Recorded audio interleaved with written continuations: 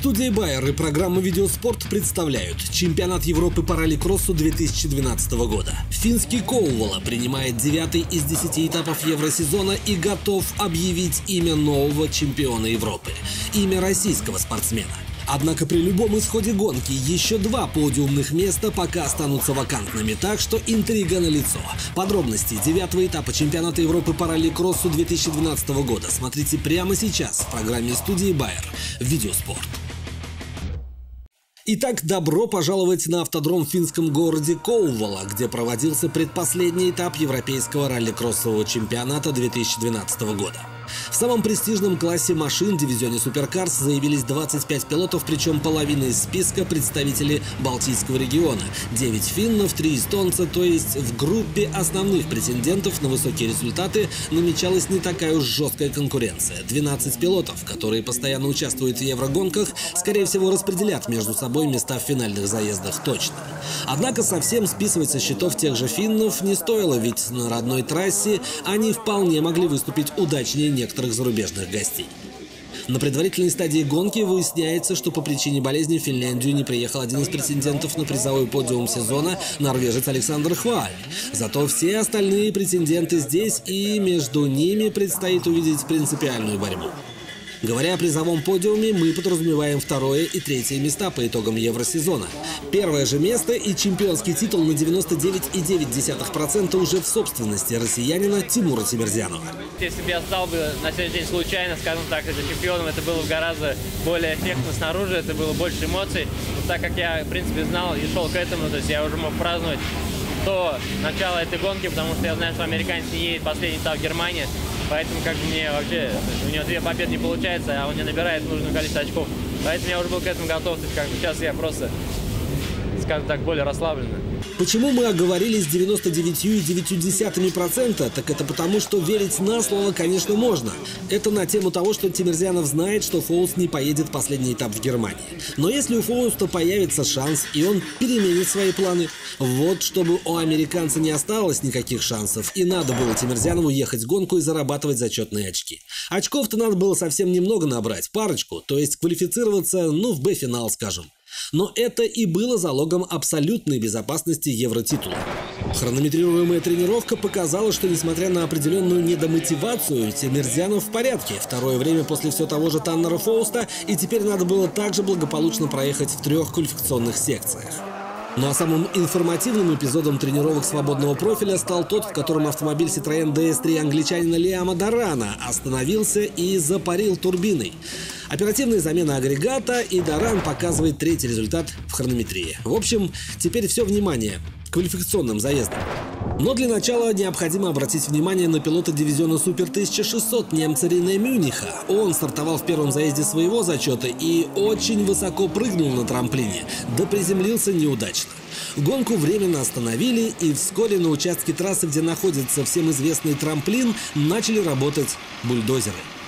Подрезать грунт, чтобы прыжки были пониже, видимо, Мюних высказал пожелание таковое организаторам, и уважаемому немцу не отказали. Причем оперативно не отказали. Тимур Тимирзянов, кстати, принял действенное участие в уничтожении трамплина. К его мнению прислушивались, хотя сам Тимур был против реконструкции покрытия.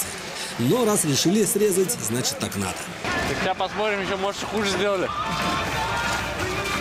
Сейчас интересно пойдет гонки. Все ради этого трамплина еще не в общем, квалификация суперкаров начиналась уже на трассе с измененным рельефом.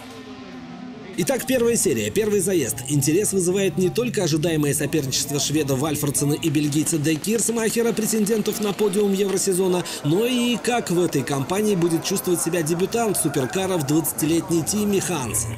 Его Citroёn DS3 под 66 номером начал заезд с посещения территории за траекторией, но затем влился в состав и даже объехал троих соперников по ходу четырех кругов дистанции, включая Де Кирсмахера. Десятое время в первой квалификации очень даже неплохо для дебютанта, хотя с такой фамилией Хансен по-другому, наверное, и нельзя.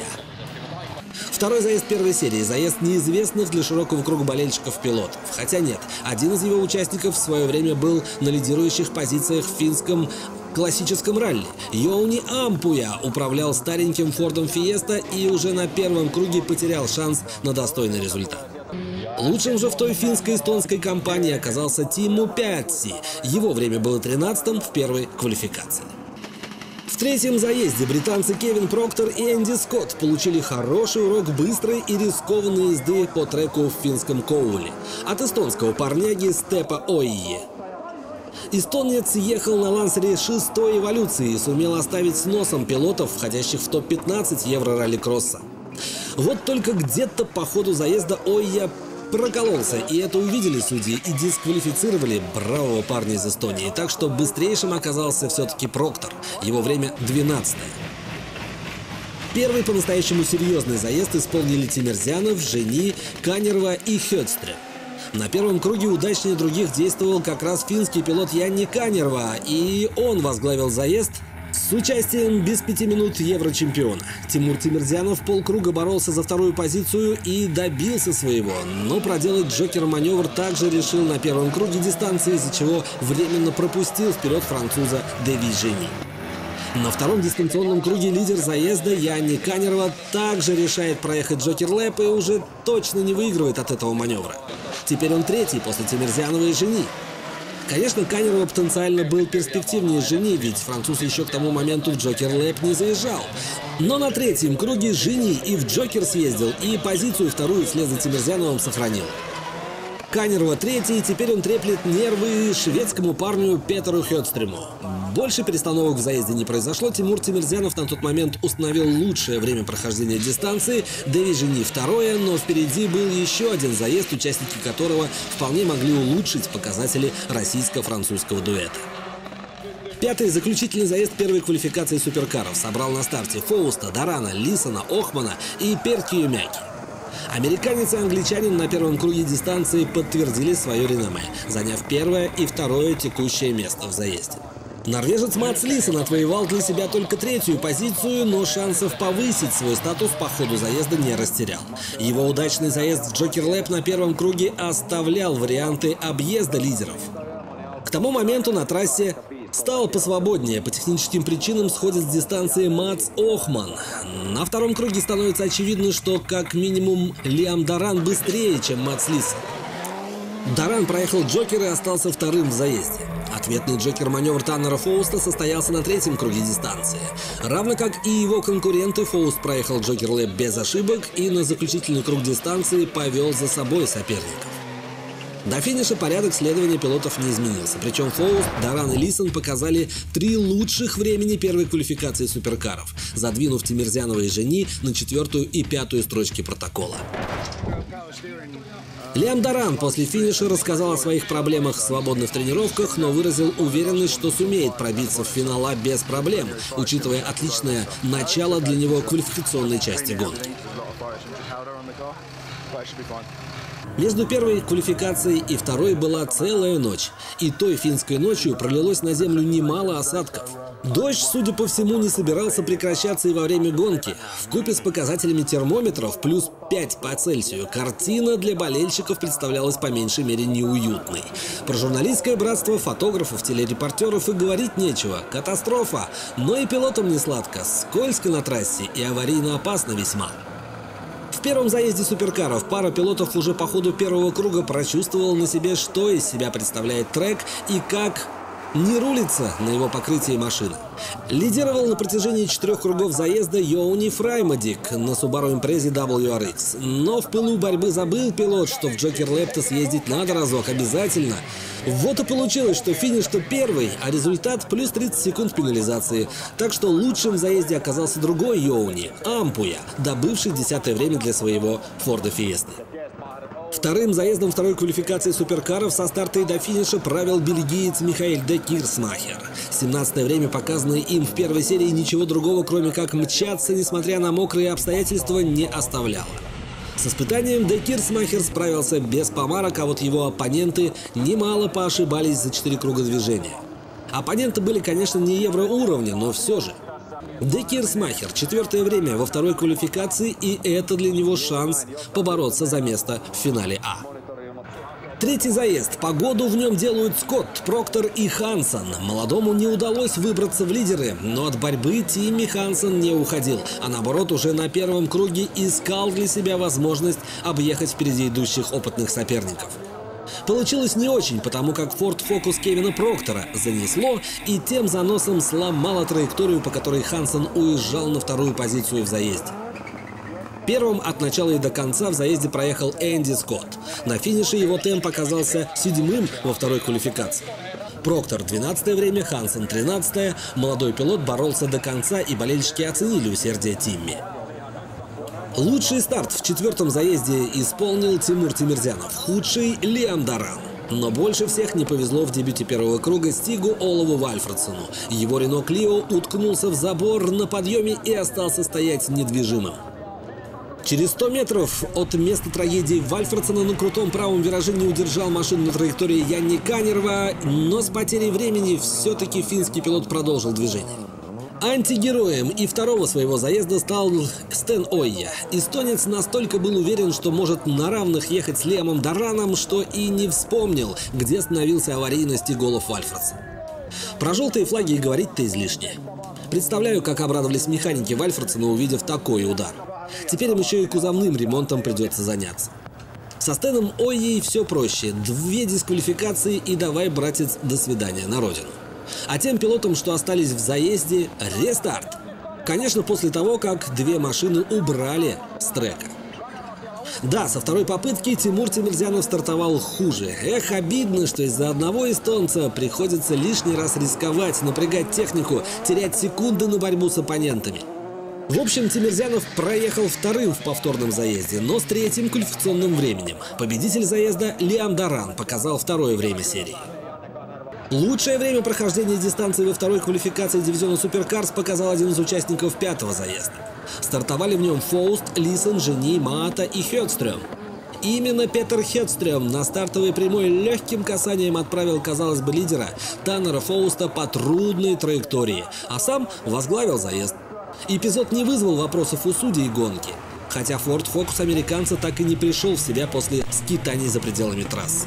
Причина – пробитое левое переднее колесо, а по такому мокрому грунту на трех колесах быстро не поедешь. Тут на четырех колесах бывает не вырулить.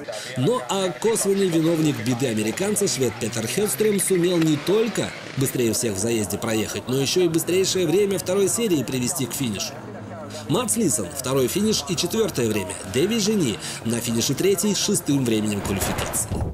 По итогам двух коллекционных серий, только Лиам Даран с четырьмя очками уже точно обеспечил себе место в финале категории А. Остальным пилотам придется потрудиться в третьей серии, чтобы пробиться на лучшие стартовые позиции финальной стадии гонки. Далее в программе смотрите, как пилоты боролись за победы под непрекращающимся холодным дождем. Кому повезло, а кто стал заложником погоды и технических проблем.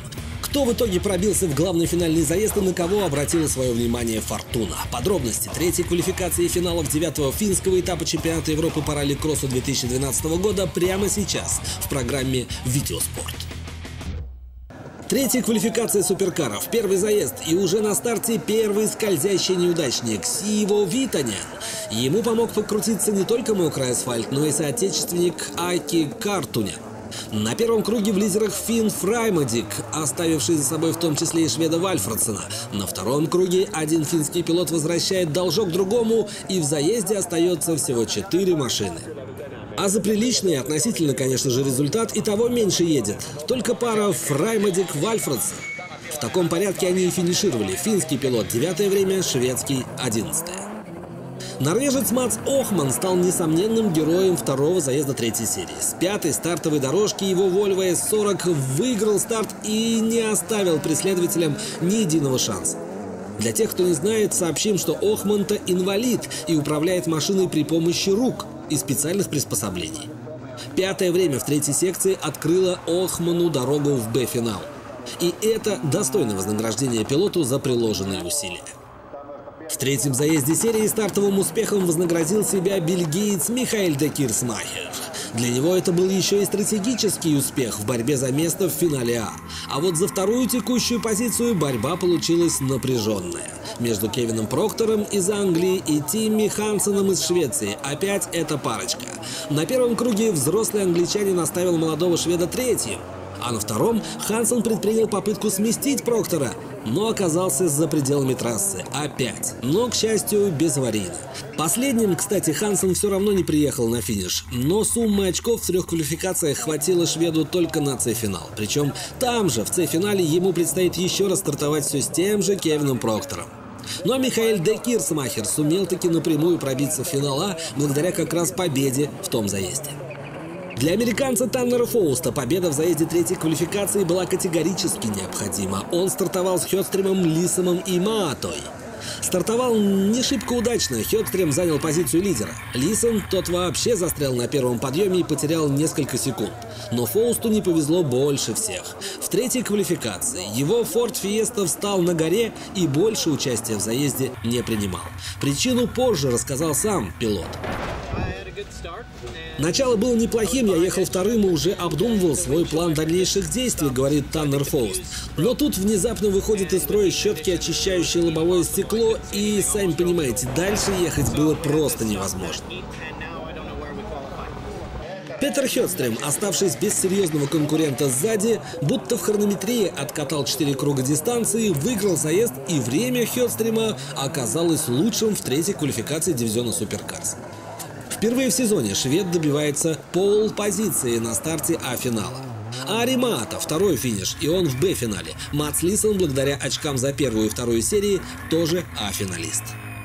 В заключительном заезде свою дальнейшую судьбу определяли Даран, Тимирзянов, Жени, Канерва и Скотт. Россиянину и в третьей серии не удалось заручиться лидирующей позицией. Активнее на старте оказался англичанин Лиам Даран. Но уже на горе, той самой, где срезали трамплин, в лидеры выходит Энди Скотт. И это означало обострение интриги. Но Скотта хватило только на два круга.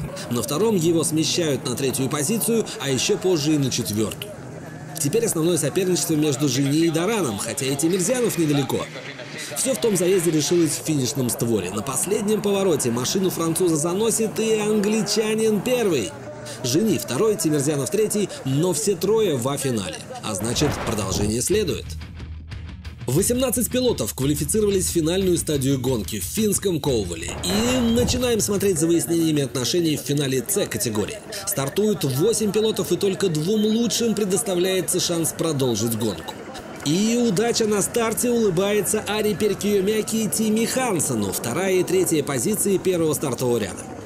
Эта пара пилотов по ходу всего финального заезда выглядела предпочтительнее, чем другие. Причем Тимми Хансен в дуэли был быстрее и за круг до финиша объехал Перекиомяки. Явно неудачно в Финляндии выступил Кевин Проктор. Напоследок он подправил с трассы Йоуни Ампую и, можно сказать, завершил гонку бесславно. Не очень успешных в дебюте Б-финального заезда было сразу несколько пилотов. Тот же Тимми Хансен во избежании контакта с соперниками проследовал добрую сотню метров по грязи рядом с треком. Но самым невезучим вновь оказался Стиг Олаф Вальфредсон.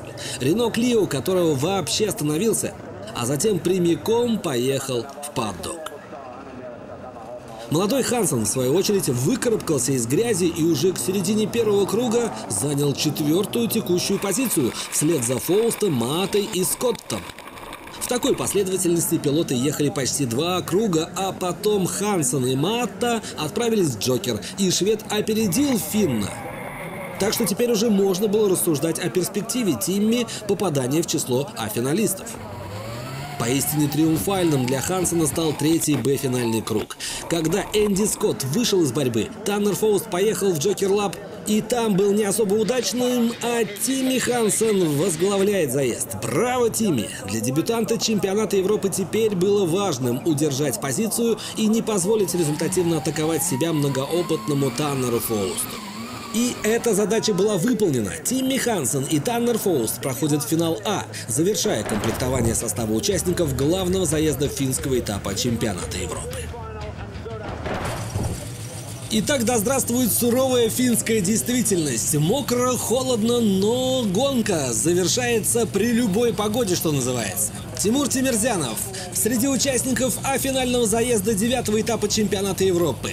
Официально россиянин уже решил свою задачу. Он уже действующий, можно сказать, чемпион Европы 2012 года, но в гонке участие принимает до конца.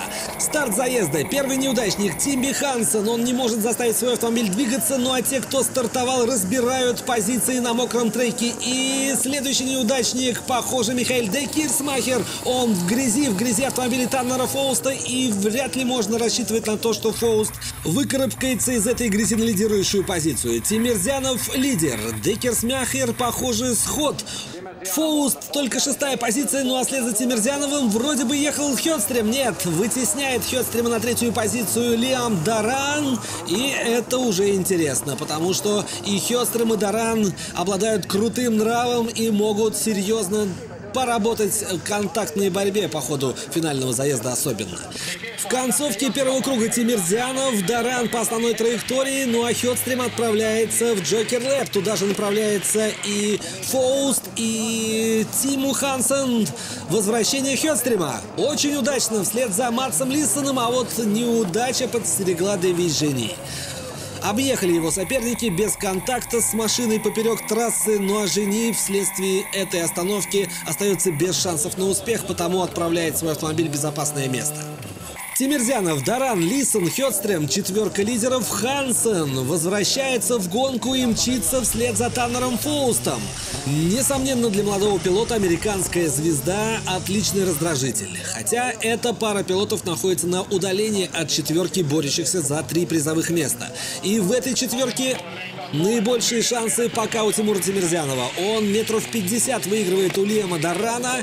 Даран, в свою очередь, примерно столько же везет Мацу Лиссону. Тимирзянову сейчас полегче. У него чистое лобовое стекло, хороший обзор, и он может видеть все на трассе. Относительно неплохая видимость и в лобовом стекле машины Таннера Фоуста, но и это не помогает американцу. Его выносит за пределы трассы и Тим Михансон. Тим Михансон выбирается на пятую текущую позицию финального заезда категории А финского этапа, а Фоуст снова в грязи. Второй сезон подряд американская звезда не может стать лучшим на территории Старого Света. Ну а Тимур Тимерзянов уже в ранге чемпиона Европы уверенно лидирует в финальном заезде категории А финского этапа. А, вот и Декерсмахер все-таки еще полкруга преодолел Ford Focus бельгийца с пробитым правым задним колесом. Конечно, развернувшись на полдороги, Декерсмахер однозначно мешает конкурентам, но это уже не важно. Тимур Тимирзянов первый в заезде, отличный темп у Тимирзянова, на второй позиции также уверенно Лиам Даран, а вот что за третью позицию происходит? В Джокер Лэп отправляется Мац Лисон и его объезжает по основной траектории Петер Хедстрем. Обладатель, между прочим, полпозиции на старте финального заезда категории А. Тимур Тимирзянов и Лиам Даран решают проехать Джокер траектории одновременно за круг до финиша. Тимур Тимирзянов, спускаясь с горы, немало удивился, наверное, тем, как расположен теперь автомобиль Михаила Деккерсмахера. Но вот не имется бельгийцу. Хочется ему доехать до парка, прежде чем заезд закончится. И эти передвижения явно не в пользу безопасности заезда. Ну да ладно. Проехали до Кирсмахера и автомобиль Тимура Тимирзянова на Джокер траектории. Спокойно, уверенно. И вот он, выход с Joker Lap а в исполнении Тимура Тимерзянова. Он определенный лидер заезда категории А финского этапа чемпионата Европы. Вторая позиция уверенно за англичанином Лиамом Дораном. Третья контролируется шведом Петером Хедстрёмом. Ну а Декерсмахер, ковыляя по трассе, заставляет соперников бить его в борт. Возможно, таким способом Декерсмахер продлевает себе удовольствие от участия в финальном заезде финского этапа чемпионата Европы. Последний круг дистанции, полкруга до финиша. Тимирзянов без вариантов для соперников лидер. На второй позиции Лиам Даран и, по-моему, первая и вторая подиумная ступень уже распределена между этими пилотами. Кто же будет третьим? Вот основной вопрос финальной секции заезда. Да, приоткрытая дверь у автомобиля Петра Хёстрима, а ведь именно он стремится быть бронзовым призером финского этапа. Тимирзянов, финиш чемпиона Европы 2012 года. Можно было и не ехать уже в финальном заезде, но Тимирзянов поехал и доехал до победы. Второй финиш Лиам Даран, и он в конкурентах за второе и третье общие места по итогу чемпионата. Третий финиш Петер Хёдстрим, и он тоже имеет шансы подняться высоко. А вот и очередной подвиг Тимми Хансона. Он на самом финише опережает Таннера Фоуста и становится пятым на финском этапе. Здорово, молодец, Тимми. Ну а самый молодец из молодцов, конечно же, россиянин из Казани Тимур Тимирзянов. Быть лучше? Стать чемпионом в День Победы. Тем более однокомандник, выиграл гонку впервые в своей карьере. Чемпионат Европы это просто вообще для нашей команды сегодня лучший день, наверное, в истории. Про еще одну победу Тимирзянов говорил о напарнике по команде «Намус» Расуле Миниханове. В дивизионе «Супер 1600» Миниханов выиграл, а финальный заезд солидным отрывом от остальных, чем поверг в шок финских болельщиков, которые грезили увидеть в победителях своих. Однако позже в шоке были уже болельщики россиянина. Ведь в пылу борьбы Расуль Миниханов забыл заехать в Джокер Лэп, а значит победа все-таки достается финскому пилоту. Когда видишь финиш, а Джокер Лапа нету, то действительно неприятно. Ну, в этом году же мы шишки набиваем, чтобы на следующий год действительно ошибок не было таких. Угу. Доказали, доказали то, что ехать можно, бороться нужно. Будем готовиться. В любом случае, ошибки для того и совершаются, чтобы на них учиться. Ну а команда «Намус» в Финляндии имела право считаться лучшей, ведь в ее рядах было два финалиста, причем «Суперкарс». Тимур Тимирзянов официально оформил свой чемпионский статус. Браво, Казань! Браво, «Намус», Браво, Тимирзянов! Это видеоспорт. Всем удачи, всем побед!